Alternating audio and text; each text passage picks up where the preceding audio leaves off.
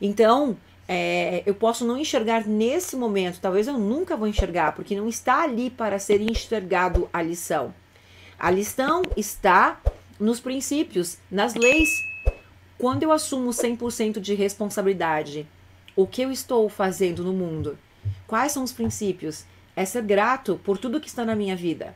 Se eu olho para o passado e eu não consigo perceber que aquilo, mesmo sendo a coisa, a pior coisa que aconteceu, uma traição, uma falência, um fim de um relacionamento, se eu não consigo enxergar que aquilo me tornou uma pessoa melhor, eu estou na escassez. Eu não, eu não consigo é, vibrar na prosperidade, porque prosperidade vem da abundância, vem da frequência da abundância. Prosperidade vem da frequência de entendimento. Olha só, tinham coisas que aconteciam na minha vida que aconteceram que eu não conseguia aceitar, tampouco perdoar. Eu demorei mais de um ano para perdoar um ator. Na verdade, eu queria com que ele morresse toda vez que eu pensava nele. Verdadeiramente, o que eu queria com que ele morresse. Algumas pessoas podem se identificar do que eu estou falando, outras, logicamente, vão estar me criticando porque não passaram e não sentiram aquilo que, eu, que, que, que o outro está sentindo, né? Por isso que não existe certo e errado, né? Falo disso com muito orgulho tinha vontade com que esse ator morresse, nossa, era o maior desejo da minha vida. Eu era do mal, não interessa, eu era do mal ou do bem, era isso que eu pensava e acabou. Eu me sentia a pessoa mais espiritualizada, grata, conexão com Deus e aquilo que eu sentia verdadeiramente era com que essa pessoa morresse. Do fundo do meu coração, eu queria com que ela morresse. E se eu falo disso com orgulho, é porque verdadeiramente é isso que eu sentia. E certamente muitas pessoas sobre a face da Terra entendem o que eu estou falando, outras não. Porque não calçaram os calçados que calçamos, não é assim que se fala? Bem, eu entendi que a única forma que eu tinha de sair daquela situação, a única, não existia outro caminho. A única forma era eu me perdoando. Era eu perdoando. E as primeiras vezes que eu fiz técnica de perdão, eu não consegui. Não, não quero. Não quero perdoar. Quero com que morra. Era verdadeiramente isso que eu sentia.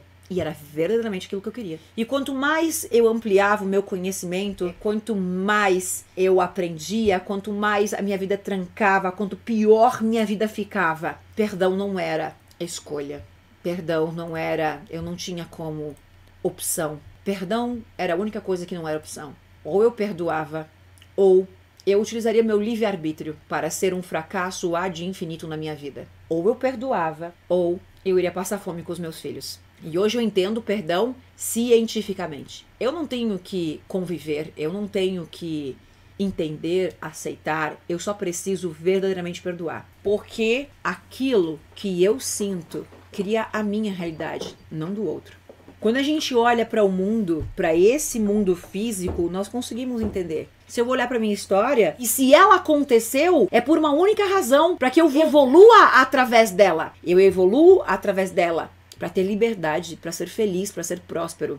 Nesta dimensão, nesta vida, não faz sentido esse encontro a minha história. Mas quando olhamos para aquilo que nós somos, nós somos espírito, nós somos alma, nós somos energia, enquanto consciência maior, enquanto filhos de Deus. Enquanto você nasce e morre e você acha que esta é a vida para o universo, uma contabilidade eterna. Quem que está evoluindo? A Elaine? Não, gente, a Elaine, dane-se a Elaine. A Elaine não está evoluindo, ela, Elaine não existe. Eu estou Elaine, eu não sou Elaine. Quem quem está evoluindo é a alma, é o espírito, é a consciência que está Elaine nessa vida para evoluir, para se curar. E a única forma que existe de cura e de evolução é através da sombra. E cada um com a sua sombra. Por quê? Não faço nem ideia. Se eu soubesse, eu não estaria aqui. Eu estaria num jatinho em Miami, viajando, vivendo a vida, trilionária. Afinal de contas, eu tenho as respostas para o mundo. As pessoas não precisam viver o processo. Alguém responde. Imagina que lindo.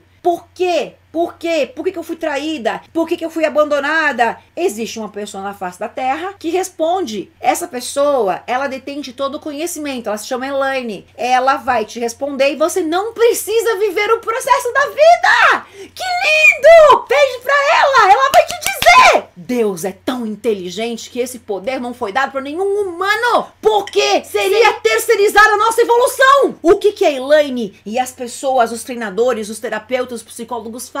Eles têm um conhecimento tão grande, tão grandioso, que nos permite enxergar com muitos olhos ao redor da cabeça. Opa, eu tava olhando esse buraquinho aqui e agora eu tô olhando numa amplitude maior. Então, a nossa evolução está diante de tudo que está nos acontecendo. Então, é igual a questão do perdão.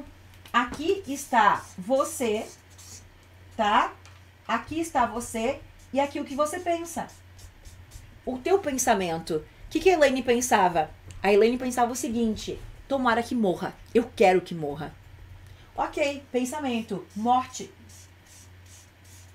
Com que fique sem nada, com que perca tudo. Ok, esse era meu pensamento. Verdadeiramente genuíno do fundo da minha alma. Era o mínimo que mereceria. É, vítima, né? Vítima, quem eu sou? Vítima! Coitadinha, miserável! Como é a vida dessa vítima? Não tem dinheiro, não tem amor, não tem família, está presa, está morta! Tanto que eu morri em vida. Morta! Por que morta? Porque é a morte que eu desejo para o outro. Aquilo que eu penso vibra em um campo ao meu redor, saindo do meu coração aquilo que eu penso em relação ao meu passado, à minha história. Isso aqui vibra e emite um campo ao meu redor. Aqui está o ator. O ator que me traiu, me roubou, me enganou, falou mal de mim, aqui está ele. E aqui estou eu. Aquilo que eu penso em relação a ele não chega nele não chega no infeliz. Aquilo que eu penso cria a minha realidade. A minha realidade. Por que, que cria a minha realidade e não do infeliz?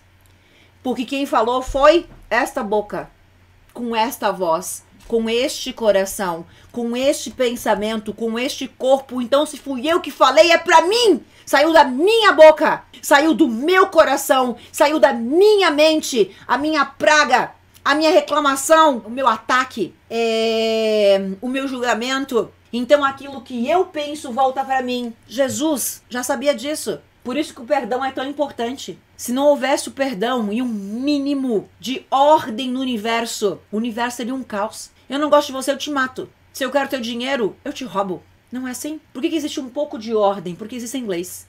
Leis são imutáveis aquilo que eu faço volta para mim. Isso aqui é extremamente benevolente. Isso aqui é 100% benevolente. O que eu falo volta para mim. O que eu amaldiçoo volta para mim. É 100% benevolente. Ai, mas Deus não tem pena de mim! Deus não tem pena de mim! Não! Mas o meu Deus tem, tem nada. Não sabe nem o que é isso, nem tá falando. Por que, que não tem? Porque ele é onipresente, onisciente, onipotente para que ele possa se eximir de não ser responsável pela tua vida. Para que você não possa culpar ele por nada. Para que você não tenha o direito de culpar Deus por nada. Ele te deu livre arbítrio. Um, um neurônio de consciência aqui. Um, basta um neurônio. Se você tiver um neurônio, você já sabe que tem que perdoar. Com um, quem dirá com quantos você tem? Com um neurônio aqui, todas as pessoas desse curso já entendem que enquanto você tiver ressonante com a pessoa que te traiu, a pessoa que te enganou, a pessoa que falou mal de você, que te atacou, aquilo que você pensa a respeito dela voltou. E nem precisa ser inteligente, nem evoluído. Tem que ter um neurônio. Porque aquilo que você pensa volta para você. E ele? O que, que tem ele? O que, que tem ele com a tua história? Ele. Vamos ver o que, que tem ele então? Vamos lá? Aqui tá ele. Aqui tá ele. Pronto. Aqui está ele. O que, que ele pensa? Pá, pá, pá, pá, pá. O que, que ele vibra? Tá aqui. O que, que ele pensa, sente e age? Cria o campo dele. O que ele pensa volta para ele. Então significa que isso nos liberta de vingança. O universo é tão benevolente que ele mesmo se vinga. O que você faz volta para você, virou lei. O se vingar é o que você planta, você colhe. Não importa quando. Então isso também me obriga a perdoar. Uma vez que esse infeliz ele já acabou com a minha vida. Porque eu permiti. Ninguém tem o poder de te destruir. Ninguém. Ninguém te incomoda. Ninguém Ninguém consegue é, te incomodar, ninguém consegue. É, ah, mas eu me sinto. É, é, ele faz com que eu me sinta. Enfim. Ah, mas é, é, é você que se sente. Ah, minha mãe me incomoda, tua mãe não te incomoda, não tem nada a ver com os teus problemas. Você é responsável pela tua vida. Quando é que você vai assumir lá o teu cartão de autorresponsabilidade? A tua mãe não tem o poder de te incomodar. Você se incomoda. Se você se incomoda com o comportamento da tua mãe, o problema tá em você, limpa em você. Ah, mas essa situação aqui me mata. Isso aqui me, me, simplesmente me destrói. Essa situação não pode te destruir. Nunca. Jamais. Você se destrói sozinho com esta situação é diferente. Essa situação não tem nenhum poder sobre você.